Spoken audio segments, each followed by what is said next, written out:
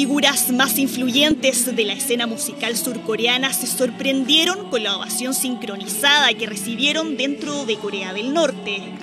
Una escena que parece de ficción en un país que prohíbe cualquier atisbo de cultura de su rival del sur, con el que siguen técnicamente en guerra. Todo parecía aún más surrealista con una presencia inédita que los observaba y aplaudía de pie desde el palco. Kim Jong-un se convirtió en el primer dirigente norcoreano que observa una presentación artística de Corea del Sur en la capital del país. Más de un centenar de bailarines, cantantes y técnicos arribaron a Pyongyang para participar del primer evento musical de este tipo en 13 años.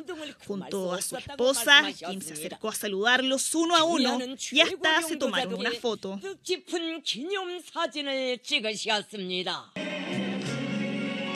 En el contexto actual de acercamiento, la imagen no parece tan extraña parte de una serie de iniciativas que buscan fomentar la reconciliación entre ambos países antes de la reunión que Kim Jong-un sostendrá con su par surcoreano Moon Jae-in el 27 de abril.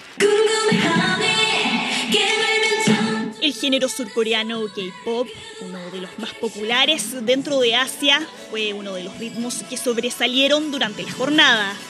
Si en épocas anteriores de tensión, Corea del Sur solía poner K-pop por los parlantes de la zona desmilitarizada para provocar al norte. Ahora, según medios norcoreanos, Kim Jong-un se habría mostrado agradecido de ver presentaciones como estas. El público nos dio una gran respuesta, aplaudieron mucho y cantaron hasta el fin del concierto. Nos dieron una mano incluso después de que dejamos el escenario. Eso me conmovió mucho. La diplomacia artística ya tiene un precedente durante este año. En febrero, el presidente surcoreano Moon Jae-in asistió junto a Kim Yo-jong, la hermana de Kim Jong-un, a un concierto que ofreció una delegación de Corea del Norte durante los Juegos Olímpicos de Pyeongchang. A pesar de la poca distancia entre Pyongyang y Seúl, es una pena que en realidad me haya sentido como visitando un lugar muy lejano. Sueño con que se acorte esa distancia entre el norte y el sur y que el día de la unificación llegue en un futuro cercano. Hasta el 3 de abril seguirán las presentaciones que buscan distender las relaciones entre las dos Coreas.